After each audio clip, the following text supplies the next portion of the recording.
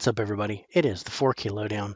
And, you know, I was scanning YouTube and I ran into uh, My Killer Podcast, um, which I've been following for a while now. And Mel had this great list of her top 10 movies from 1984. And I thought, wow, that's a great list. My list would be a little bit different.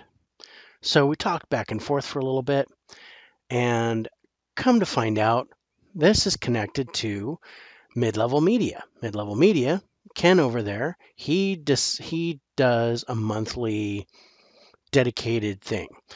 So, and if I get it wrong, I apologize, Ken. But basically, so for March, for this month, it's all about movies from 1984. So I said, you know what? I want to put together my top 10 list and just see how different it is. And, you know, lo and behold, it was actually really interesting.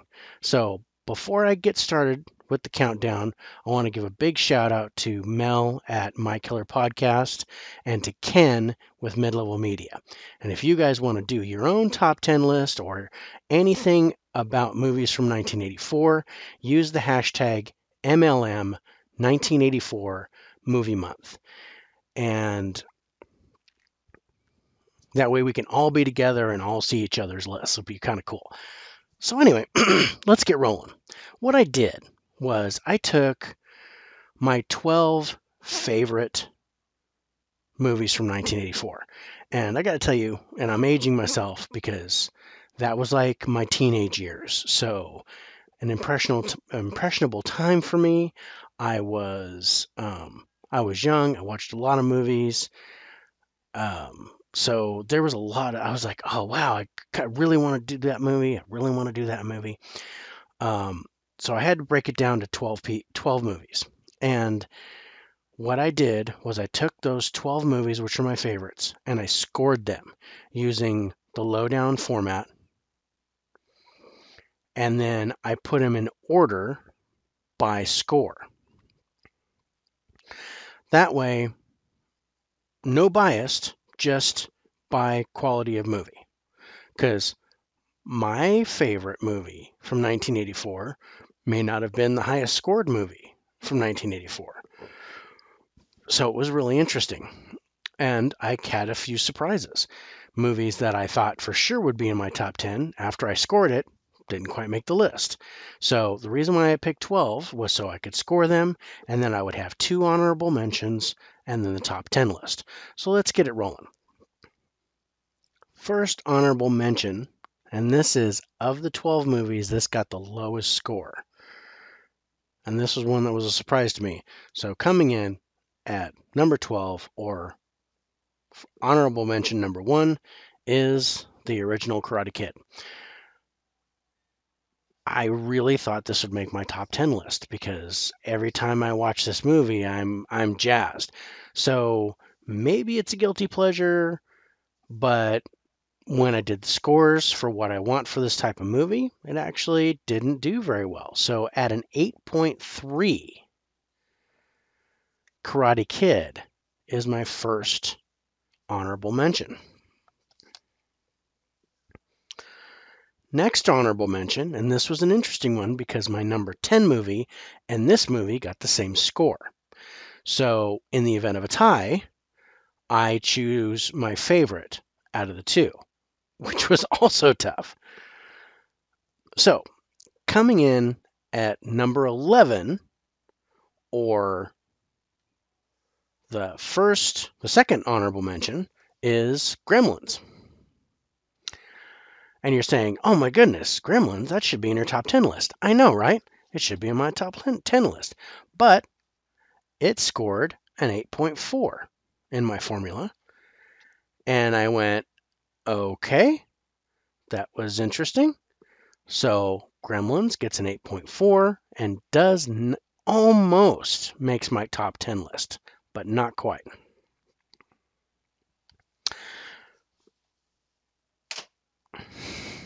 Now let's get it rolling with my top 10.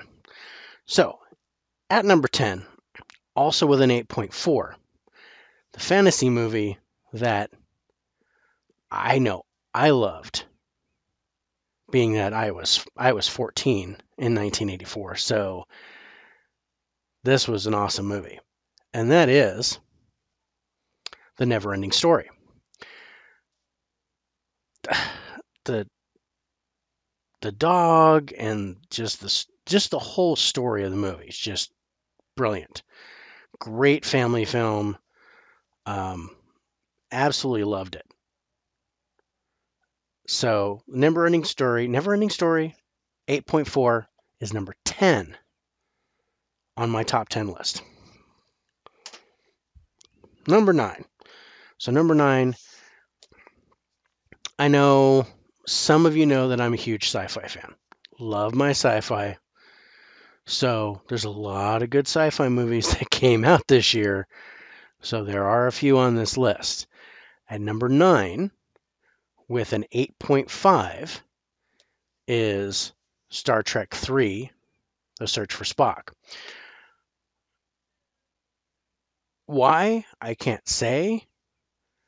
Could it be Christopher Lloyd as a Klingon? Possibly. Could it be the whole Genesis weapon? Definitely. But you know what? For the time period, the effects in this movie, are really good. The acting is actually decent for Star Trek because they're famous for overacting. Um, so, Star Trek 3, The Search for Spock, 8.5 is number 9 on my top 10 list. But you're wondering, oh my gosh, David, what could be number 8? Well, I'm going to tell you. Coming in at number eight with an 8.6 on the lowdown meter is Top Secret, starring Val Kilmer. The only place that this really suffers is um actually no it doesn't really suffer at all it's solid all the way across so there's nothing really horrible about it i mean like never ending story it's it was light on the cast. There's not very many cast members that are that are famous today or that have done more movies than that. So um, the cast loses in Star Trek, even though it's it's an 8.5 and it was acted better than normal, it still gets a five. So this one was actually solid across the board, eights and sevens until you get to the comedy aspects, and then it's tens across the board. This movie is incredibly funny, crazy parody film where they make fun of um, a lot of war movies and Elvis films. So um, think about like it's from the makers of Airplane. So think about all those like Scary Movie and things like that. This is where those came from. So top secret. If you haven't seen it, check it out. 8.6. This is number eight on my top 10 list. At number seven, on my top 10 list, which came as a shock because this was one of the ones that I thought was going to be an alternate um, or one of the honorable mentions. So, at with an 8.8, and I want to double check that. Yes, with an 8.8 on the lowdown meter, my number seven movie is Beverly Hills Cop. This is the quintessential action comedy. Super funny, great action, cop movie. Um, you get the bumbling cops, you get the you get Eddie Murphy who's making fun of everybody. This this in 48 hours were like the primo. This has set the standard for the action comedy. So um, I'm sorry, Ride Along wishes that it was this good. Beverly Hills Cop, 8.8. This is number seven on my top 10 list. Let's keep it rolling. So at number six, I thought this one was going to be higher.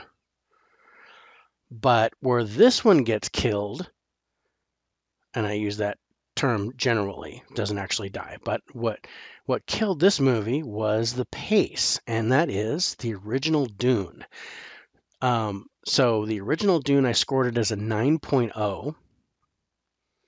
because for its time period and that it's set way in the future and just crazy story and all this crap's happening.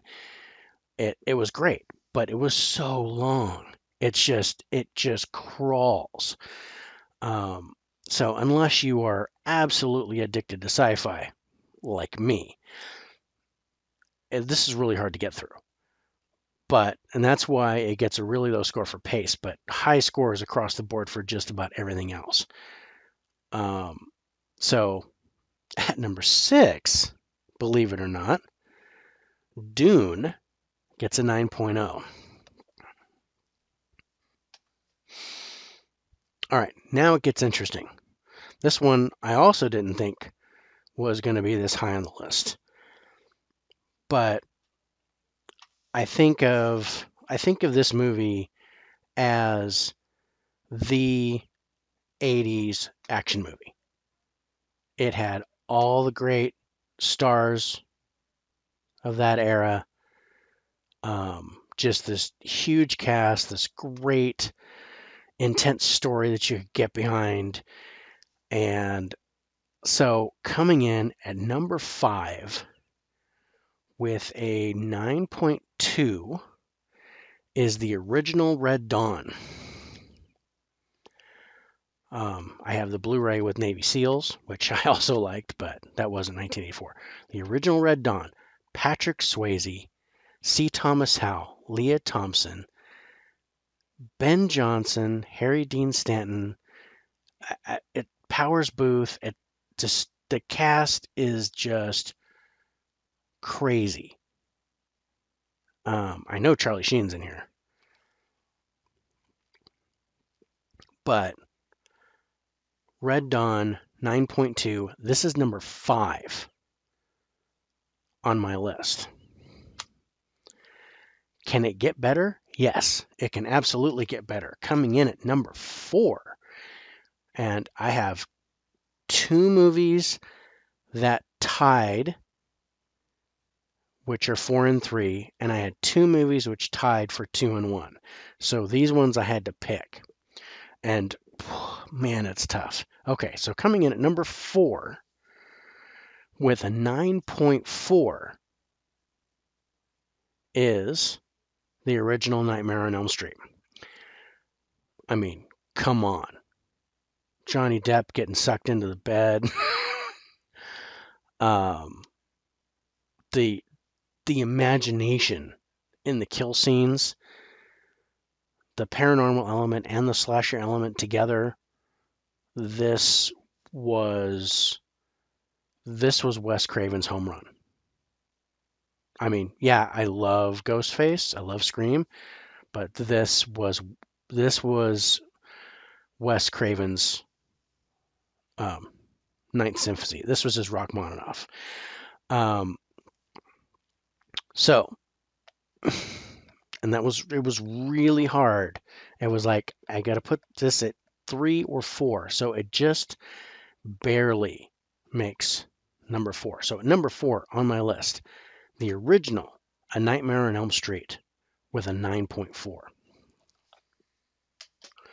So what could possibly be at number three? Well, I'll tell you, and I'm normally not I'm normally not a drama person, but there are certain movies that come out like Bohemian Rhapsody. Um, this year it's been King Richard. I really liked King Richard, but occasionally you get those those dramas that you're like, man, that was just an amazing story. So coming in at number three, also with a 9.4, is The Natural, starring Robert Redford. This is a great, great baseball movie and an amazing cast. not a biopic. I do not think it's based on a real person. But oh my god, this is just a beautiful movie. If I see this come on TV, just regular TV, I will watch it every time. So, number 3 with a 9.4 tied with Nightmare on Elm Street, is The Natural, but it comes in at number three on my list. So, two more, right?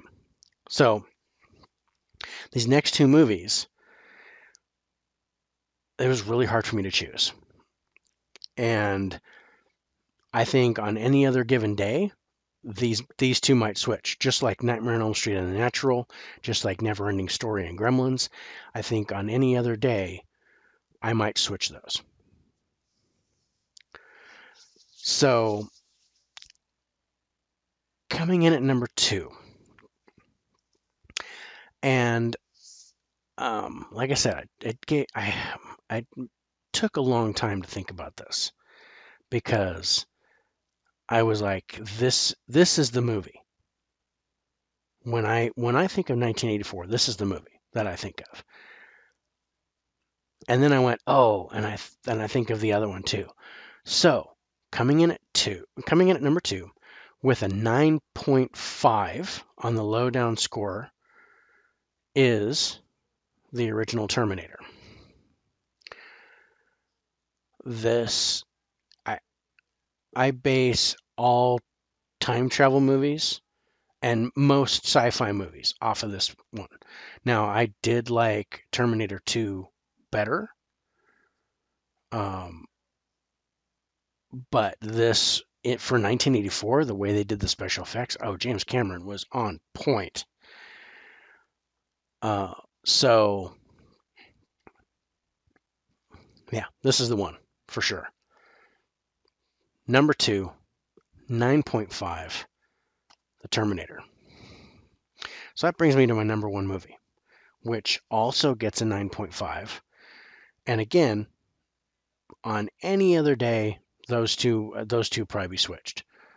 So um, it could be interchangeable. Coming in at number one with a 9.5 for 1984 is the original Ghostbusters. You're probably like, oh, duh. Of course you like that. Yeah, I like that. Um, so, and I've got the steelbook of this one. It's just a beautiful artwork, but um, just everything, the chemistry between the cast, the the action, the special effects, everything was just amazing. And rest in peace, Ivan Reitman, um, for doing this movie, and bless you for doing this movie. But that's my list. I hope you like it. Um, please like and subscribe. Check out the notes at the bottom. I have links to my killer podcast. Again, Mel, thank you so much for doing your list. It made me really want to do my list. And a big thanks to Ken at Mid Level Media. His link is also down there. Please subscribe to both of those pages if you haven't. Also, is my link, so subscribe to my page. It would be great. Um, but I think I'm going to do more of these top 10 lists. I like it. I'm enjoying it. So let's do let's do this again. I'll see you guys real soon. Take care.